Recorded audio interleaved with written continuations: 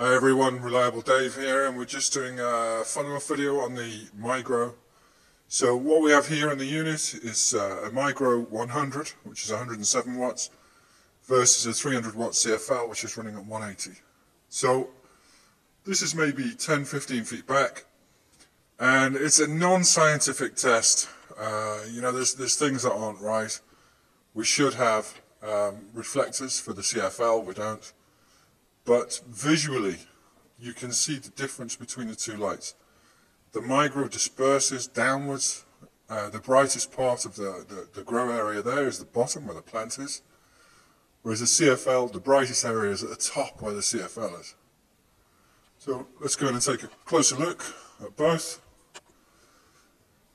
So the, uh, the, the basil under the Migro is, there's certainly a lot more growth. This is about um, about five weeks growth. Um, big difference, uh, you know, the basil's due for repotting as well on the left, the one on the right is growing fine, just a lot slower. Um, there is an issue with heat perhaps from the uh, Migro.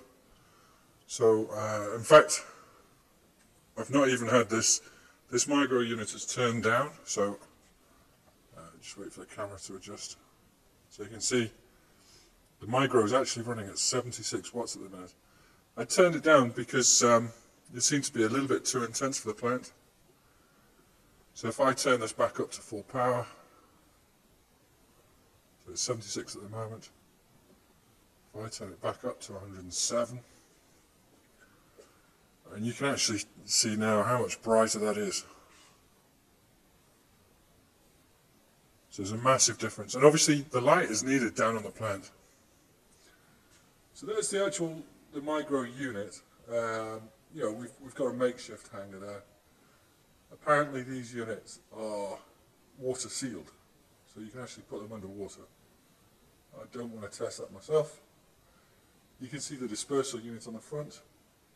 So the, the sunlight, you know, it's hitting the, the sides just below. So on a reflective surface, that would be coming in to the leaves from all different directions. The, uh, the driver is uh, a nice tidy unit. It has uh, an adjustable setting here. let me see a label for you all. That's not really focusing. Okay. You can see it's a steady 107. With a flick of the adjuster, you can go all the way down to it's at 12 watts. And you can see it's dim turn it up turn it up turn it up and run to 107 this unit yeah it runs a little bit warm. It's not massively hot so there's a little bit of loss in there. So maybe maybe 5 or 6 watts is lost in heat. Nothing much so the CFL in comparison, that's a 300 watt CFL. And just the design of the CFL there, the light from the top of that light has to make its way through the glass at the bottom in order to make it to the plant. Not the best design. Um, that said, they've always done as well. You know, I've used these lamps a lot for propagation. Um, and they've always been fine. Not really powerful enough for a full grow, but good enough for propagation. But the proof is in the pudding as I say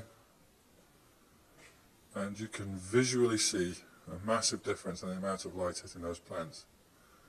And although it's not scientific simply adding a reflector to the other side of that and bear in mind it's got white all around it adding a reflector isn't going to have that big a change between those two plants. It might improve things on the on the CFL side by 10-15% but there's a massive difference there. That plant isn't 10 or 15% bigger. It's an order of, well, there's 8 leaves on one. It's about 42 on the other. Okay, this is uh, Dave signing out. Keep an eye on our videos.